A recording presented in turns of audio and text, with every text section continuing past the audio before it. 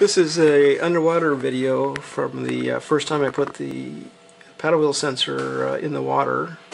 Uh, I'm just applying power to the engine right now and the, uh, the engine pylon is in the lower left corner. It's currently rotated as I'm in a uh, hard left turn and in a few seconds it'll straighten itself out uh, so it'll be right behind the, the sensor. Um, I'm showing you this video, uh, which was originally shot at 120 frames per second at uh, quarter speed. Um, so it's easy to, so the uh, the paddle wheel itself is uh, fairly distinct and not blurred uh, in the image. One of my main concerns at this point was the close proximity of the sensor and the engine pylon uh, when you're going straight and whether that was going to affect the information I was getting out of it. It turns out that I was getting good information as long as I was going straight, but in uh, corners the uh, the prop moving water across the sensor uh, would cause it to uh, uh, read inaccurately that wasn't really a problem since my real interest is uh, when I'm out trolling and most of the time you're trolling in a straight line so that wasn't going to be a problem. Um, I initiated this project because even though I have GPS speed uh, which is speed over ground uh, when you're trolling in current what you really want to know is speed in the water and paddle wheel sensors will give you that information all in all, it turned out to be uh, successful at, uh, uh, especially at, uh, at, this point when everything's nice and clean and the sensor's nice and clean, and it worked down to very low, fairly low speeds, uh, down to about 1.2 miles per hour or so. Uh, after I started using it out in fishing in the Siuslaw, it started getting dirtier and it became fairly unreliable below two miles an hour. Now I did not attempt to clean it uh, during fishing season, but uh, and when I did pull the boat out of the water, it was fairly dirty um, with scum, so it uh, may have been uh, may work uh, at lower speeds if I would clean it on a regular basis.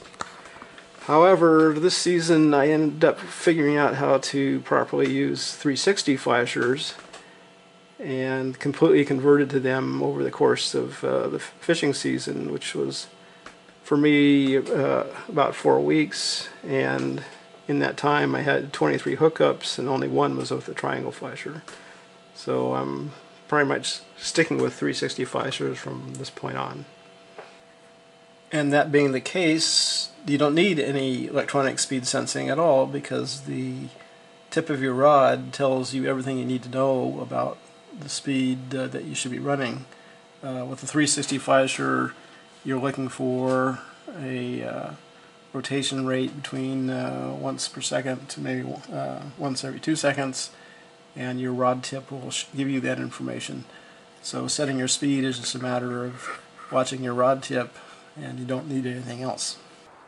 Here is the paddle wheel speed sensor, this device right here. This is a uh, Garmin product that I uh, found online for $25. Um, there was no spec sheet with it whatsoever. It's, it's just a advertised as a four-pin Garmin speed sensor. Um, so I had to kind of figure out uh, how it was wired and uh, how I needed to power it, but that turned out to be pretty easy. It's only three wires in the cable, red, green, and brown. I assume red and green were plus and minus and that turned out to be true and brown the signal. And I first tried powering it up with a 3.3 volt signal and that worked or power supply I should say. And that gave me a nice clean signal so I, I didn't try anything beyond 3.3 volts. Uh, when it spins it produces a square wave of a frequency of uh, 5.6 hertz per knot uh, which is pretty much the standards for almost all the uh, paddle wheel sensor I've, I've seen uh, and uh, this one corresponded to that um, to that standard. Uh, I had to invent a mount for it. This is meant to be mounted on a transom and it has a bracket for that but obviously I don't have that so I've designed and 3D printed this guy right here that mounted to my existing metal framework for my fairing and uh, took me a few iterations to get all the angles and uh, dimensions quite right, but now it works quite well. Uh, it's designed so that uh, when it's operating, this uh, bottom surface is even with the bottom of the boat. Uh, so it has a good flow across it. I actually did. But when I try to bring this up on the dock, this would be, the weight of the boat would be sitting on this, so I designed it so that it will rotate up out of the way when I want to bring the boat up onto the dock. Uh, to keep it from doing that, when I'm uh, running the water, actually just trolling wants to stay here, but if I try to go pretty as fast as I can, it tends to move up. So, so I designed it with a little keyway here and a key, a key that goes inside, and that then locks it in place.